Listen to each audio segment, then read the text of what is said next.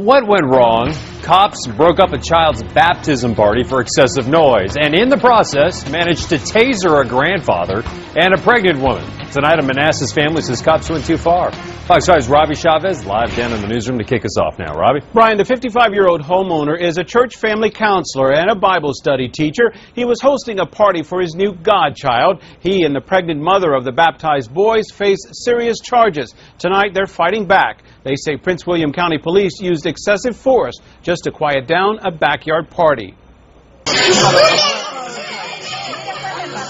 It was supposed to be a happy day to celebrate the baptism of these two little boys. This home video captures the party moments before police arrive following a noise complaint. Edgar Rodriguez says the backyard celebration came to an abrupt halt. After some confusion, his 55-year-old father says he was asked for an ID and handed it over. Then he was tasered three times.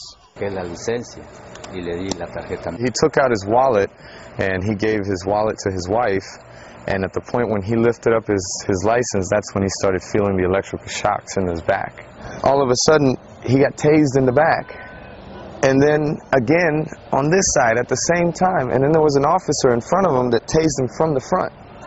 So my dad was not under arrest. We never heard anybody say, sir, you're under arrest. Prince William County Police issued a statement confirming two people were tasered at the baptism party. A spokesman says, quote, the officers contacted the homeowner who was highly intoxicated. The officer, she says, explained the noise ordinance to the homeowner who refused several requests to turn down the loud music. The spokesman goes on to say Rodriguez began to act disorderly and refused to identify himself to officers.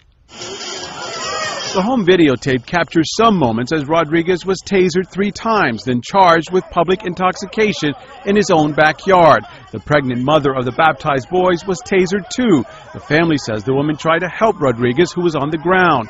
She was charged with assaulting a police officer. He tased her in the back. So she didn't assault an officer. She was assaulted by an officer. The family calls it excessive force, and they say all of it happened in front of a yard full of children. When they came in, you know, they were in, in a defensive mode, like if we were criminals. I mean, everybody felt like that's how we got treated, like if we were just all of a sudden criminals for celebrating a child's baptism.